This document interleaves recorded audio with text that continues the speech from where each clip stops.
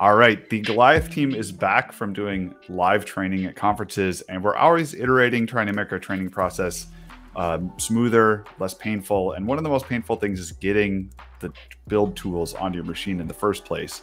And Chris, I think I think we've cracked this nut now. We figured out maybe the least painful way is to not put the tools on your machine at all.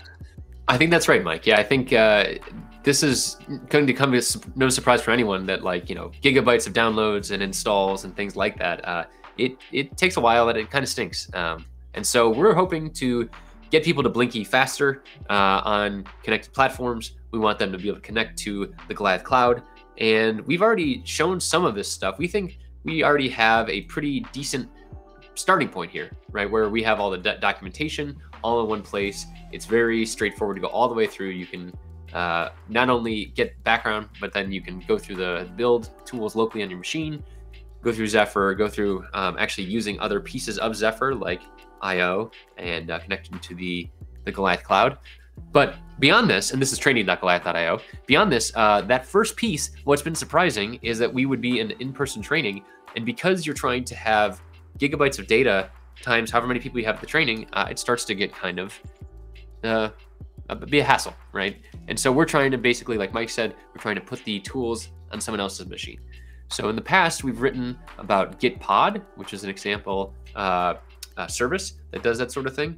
And we are trying some other things. But today we're talking about Kasm, K A S M, and that is a uh, basically a virtualized container host that allows you to um, use a desktop through a browser. It might be a little bit heavy duty, but we think that it, it actually presents a pretty fast uh, interface. Mike, what were some of the, uh, the other things that you've seen at training that kind of held us up?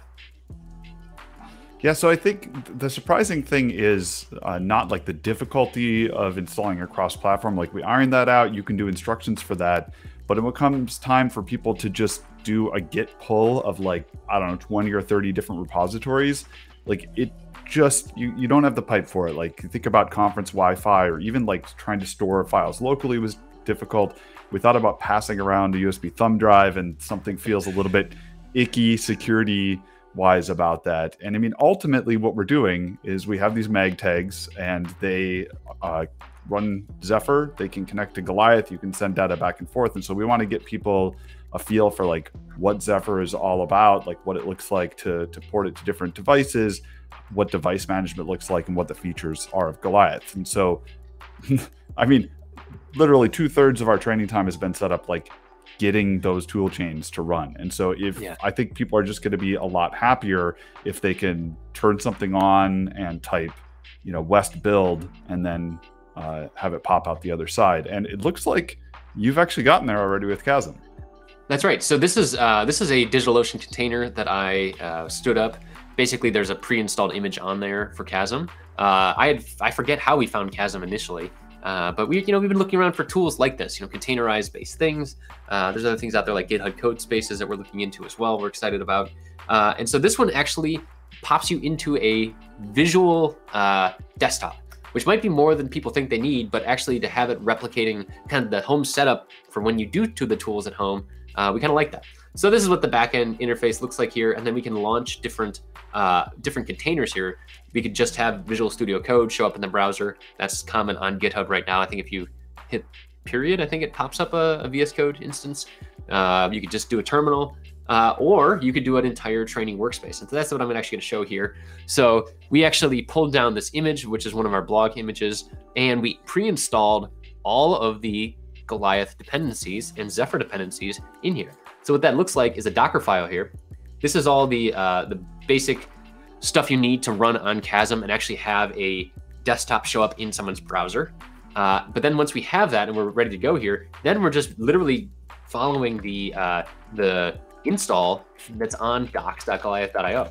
And so if you go to docs.golioth.io, uh, I actually did NCS the Nordic Semiconductor version of Zephyr, but it's basically just all of the commands here. I think I did it as because I didn't uh, I'm not running a virtual environment anymore. I'm just doing, doing globally because it's just this container that's there.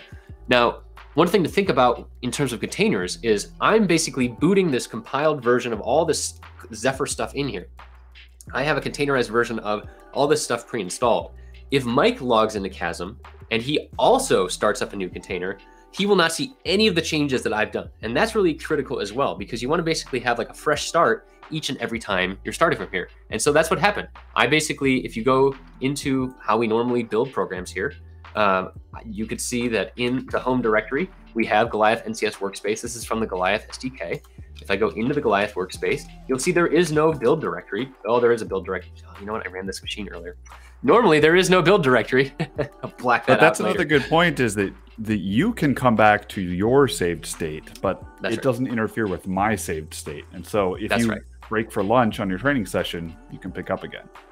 That's right. Yeah, that's that's a good point. Um, so I'm going to remove that build uh, directory here, uh, and maybe we can have Mike uh, do. Maybe we can do a quick break, and we'll show uh, another instance of the workspace after this is all done. But from here, right? Normally, you'd have to go and you're starting from a terminal. You have to go and install all the West dependencies, all of the uh, SDK stuff, all of the tool chain to actually go and build an ARM-based component. That's already done for you here. And so if we go and we do just a build, uh, sorry, uh, West build, and West is already installed. That's another another key point. So that's the meta tool that helps us to actually build these things. So West build, I'm going to just grab an easy one. This is the NRF 52840 base device from Layered Semiconductor that we did in the open thread stuff. And then I go and I say I want to actually compile uh, Zephyr samples basic basic Blinky. Now it's going to just go and build it. So basically, you start up a new a new container and it starts to build right away. And that is that is an experience that we've been looking for for a long time. Now, some of you watching this are going to say, "Well, I've already known how to do that. I know how to do containers, and I maybe run that." But doing this at scale for training and having multiple people do it, that's new for us. And also to have visual tools like this, having VS Code installed in here, which we'll have, which we have on a, a different workspace here, having uh, having a, a terminal, having a desktop, being able to then go and download stuff. One thing that we've been running into that's a current problem, and we'd love to hear from our community on this, is we need to actually go and move the dot uh, the binary file into this download folder, which I've done already, and then we need to go and we can download it here. So this is actually in the container. You can see that I have this kind of little this menu here, and I can click this, and it'll go and download the Zephyr binary for a third time. Um, and so that's something that we're still looking into. We'd love to hear from people if they have done this before, how they uh, work with this sort of stuff. We're looking into web USB and similar.